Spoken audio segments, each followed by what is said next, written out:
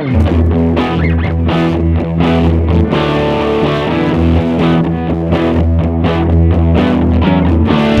right, welcome back. Today we're going to talk about Chapter 7 Strategies for Competing in International Markets. Now, maybe this will be blasphemy, but I can remember 10, 15 years ago, global was the, the word, the buzzword. If you're not going global, what's wrong with you? Uh, and a lot of people just jumped and went global. A lot of big companies that had the sense to not do that went global, went just huge. The only reason you would ever go global is because you think that by going global, you'll be more profitable than you are if you don't go global. You don't go there because you like to brag at a party, yeah, we've got international offices. You don't go international because you want to be able to fly to Paris a couple times a year to see your office there. That is absolutely worst way, worst reason in the world to go global. I love international business. Good gracious, and I've traveled and I've seen it and I've talked to them, and it's just wonderful. But you would want to go over there unless you could make more money going over there than not going over there. That's why you would do that. Now, whether that means you maintain a competitive advantage, maybe I can't measure it right now, over the long haul will be more profitable, that's fine. There's got to be that positive aspect before you ever decide we're going to go global. Because once you go international, you better have a ton of money somewhere. Because it's going to cost you a fortune. That's fine. If you can spend a fortune and make a for- and then make back a for- fortune plus some money, that's great. But just remember that. If you don't think you can make some money, we're not going to go global. However, let's decide that somebody has shown me that Excel spreadsheet and shown me that market research and actually, you know, convinced me. Yes, there is a real good opportunity. That's where we need to invest. All right, I'll do it. Here's some key reasons they should give you, in addition to uh, the, the investment return. Going global will gain us access to brand new markets and customers. Absolutely. Never thought about that. Would love to go over there. If that market is there and if that demand is there, oh yeah, and if I can get over there, you know, in a profitable manner, absolutely. Why wouldn't I do that? Second thing, to achieve lower costs through economies of scale. Maybe I can go over there and combine that operation with something else, and it absolutely will give me an economies of scale.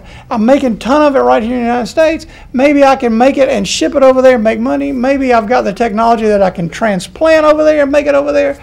These economies of scales will help me. The more units I can make, the lower that cost per unit comes down to a point. And so, great. If I can make that happen, then that will be very good to further exploit core competencies. I'm real good at this particular aspect of the business. Let's say it's marketing. That's my core competency. I could sell a bald man a comb. I'm good at that. I know how to package it. I know how to talk about it. I know how to sell it. Well, if by going to a bigger market like China and I've got that, I'm determined they've got the income and I can sell it, why not? Why not go find that market? Number four, to gain access to resources and capabilities located in foreign countries. Sometimes you have to go there. Okay, sometimes you know the mountain goes to Muhammad. You really have to go to where you think that capability is. So you need to understand that that sometimes I need to go play in that ballpark because that's where it is. That's where that's happening. And the last one is to spread business, business risk across a wider market. I don't want to put all my eggs in one basket. So I'm going to go to these different areas of the world with different economies, with different tastes, and spread my risk. That's what I'm going to do. All right, your text describes several strategic options for going global, going international. Um, and it's almost ad nauseum. Um, so I'm gonna put it. I'm gonna give you the country version of that, because I doubt you'll remember that. I mean, you can, you know I've read it and I don't remember it, kinda, and uh, but I do remember this. I go back to my list. I remember a list. So here's a list. of things that you need to think about, and it goes from the easiest to the most complex, from the least capital uh, uh, requirement to the most capital requirement of how to go international. All right, the first one, so we're going international. First one, niche marketing. Niche marketing means you have a very, very small market segment. And the cost of approaching that market are small so that if you really don't succeed, it's not a killer. But if you succeed, it can really be very profitable.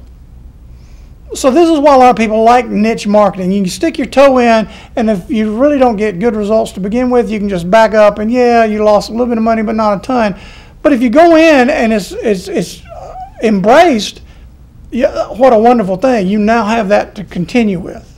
A great example of niche marketing is there was a a chicken farmer, I'm not kidding, uh, in South Carolina who, I don't know if you've ever been in livestock farming, but when you raise livestock, you use everything. They say when you do cattle farming, you use everything but the moo. You sell everything but the moo.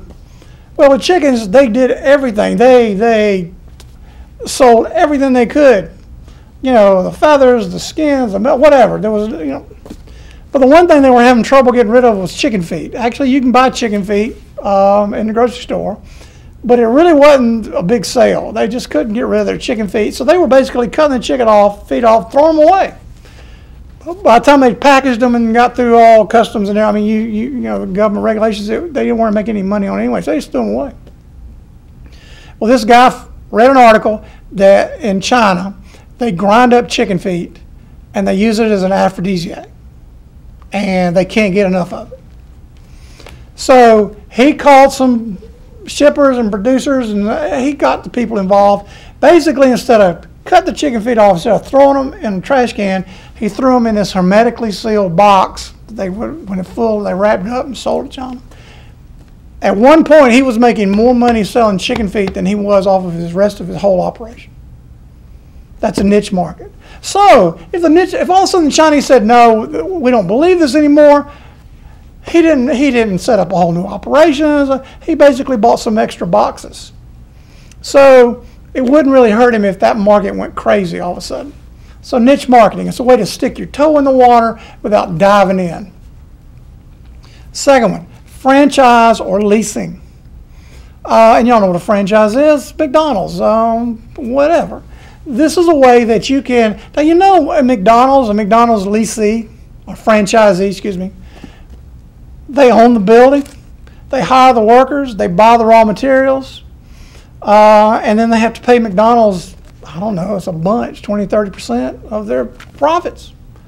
Uh, so now McDonald's gives them some national advertising and everything, but usually McDonald's is a gold mine, and they understand that, and that's why they're willing to pay McDonald's so much.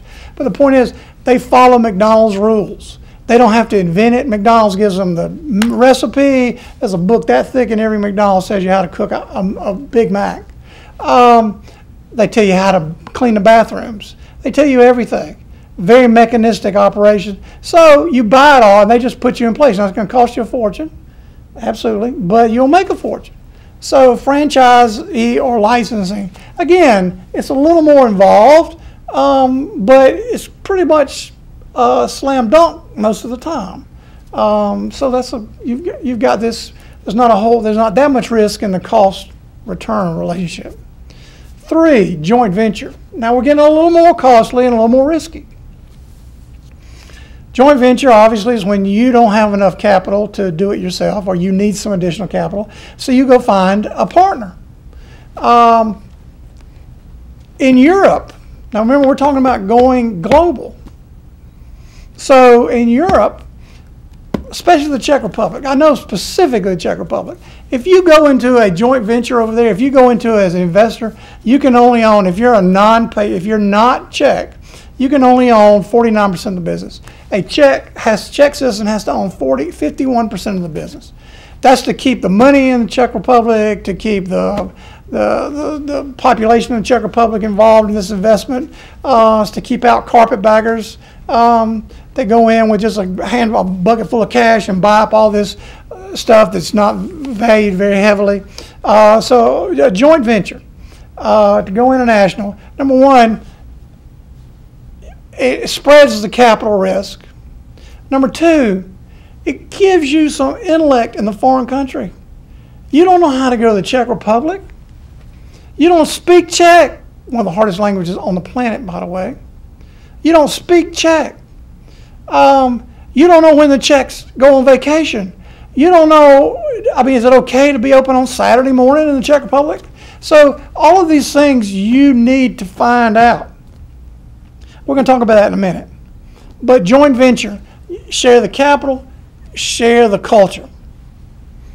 Number four, foreign branching. This is where you would take a, a unit of your company, let's, let's say America's the home company. You would take elements of that and put them in a foreign country. But the control of that would be in America. When I was with the bank, we had an office in London. We had a foreign branch in London. Now, it wasn't a branch bank like you think. It was like 10 stories of a 30 story building that we controlled. And the reason we were over there, you talk about old school, we were over there so that we could take advantage of the markets because at 8 o'clock in the morning in London, it's still like 3 o'clock in the morning, 2 o'clock in the morning in the United States. And so to take advantage of, so at 8 o'clock, the markets were doing something good or bad, we needed to have somebody on the ground. I see that's outrageous today. You know, your computer wakes you up now, your computer takes care of that for you. Back in the day, it was a you had to have a phone call at two in the morning. What should I do? So instead of that, they just park somebody over there. That's outrageous for y'all to understand that, but that's true. But that's a foreign branch. You put it somewhere else because you think you can make money, because you think you should be there to take advantage of that, you know, actually the distance you're in. But very, very expensive. Oh my goodness, very, very expensive. And then the last way to go international is foreign subsidiary, where you put a completely different, I mean, uh, you put a completely separate and isolated entity in Europe, like Ford Europe, by the way. Ford, your Ford does great in Europe. One of the ways that they sustained the, the car issue that we had, the problem with the automobile industry back in 2009, 2010, uh, Ford Europe kept Ford. Everybody said, "Well, Ford's making money; they're okay." It was their Ford Europe that kept them out of out of out of the hot water because they had a separate car over there. Now, you go to Ford, you go to Europe, excuse me, go to Europe, and you look at these cars. The only thing that looks like a Ford to you is that that blue oval on the front that says Ford. These cars are built for European roads. They're tiny. They don't look like a Ford at all. They've got European names. You would never recognize it as a Ford if it did not have that logo on it. And that's why Ford went over there and said, if we're going over here, we're going to build you what you want. We know you don't want an LTD. We know you don't want that. You don't want an Explorer. It won't fit. It won't even get it. You can't even park it. But we'll give you what you want, and we'll give you a good car. And they knew the demand was there, and they went over there and they made a ton of money. Um, so, okay, you got that. The, the five ways to go international that are just kind of lockstep easy niche marketing, franchise, joint venture, foreign branching, and foreign subsidiary. Okay, so you got those. All right, so um, what do y'all think about that? What do y'all think about that?